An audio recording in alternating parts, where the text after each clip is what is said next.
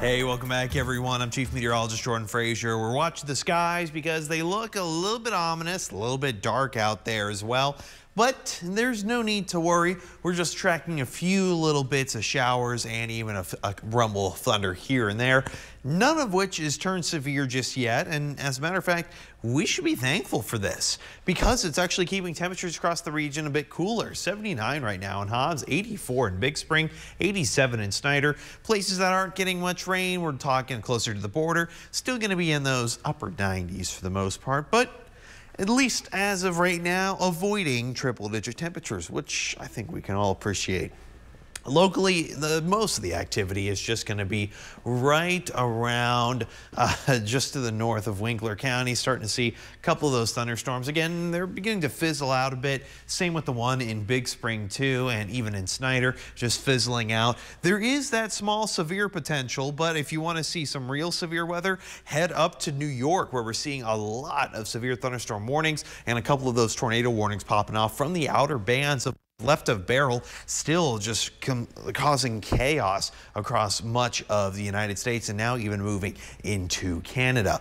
All right, what can we expect throughout the night? Well, just that small severe risk, mainly going to be on top of southeastern New Mexico, some of it trying to bleed its way into West Texas, although I'm not seeing anything significant as of right now. Of course, that could change, but as we head into the overnight hours, a lot of that will just fizzle out entirely, leaving us with with just a small amount of cloud cover. You got that easterly wind keeping humidity values on the higher end of the spectrum, but overall temperatures not bad at all. 71 degrees, right on par with where we should be for this time of year.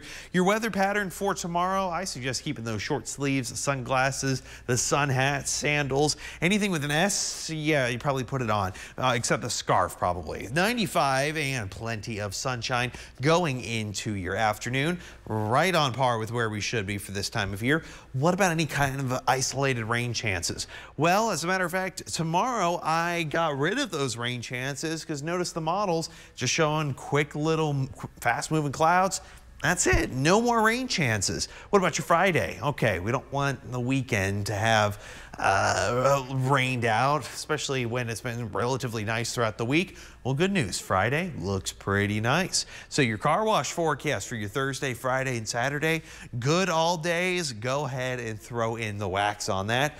But what about going into the weekend and going into next week? Well, still pretty calm. Some small isolated rain chances, a little bit of that humidity, but overall, I'm seeing a lot of those mid 90s, and that is a lot better than those triple digits, Sydney. Absolutely, Jordan. Thanks. Coming up.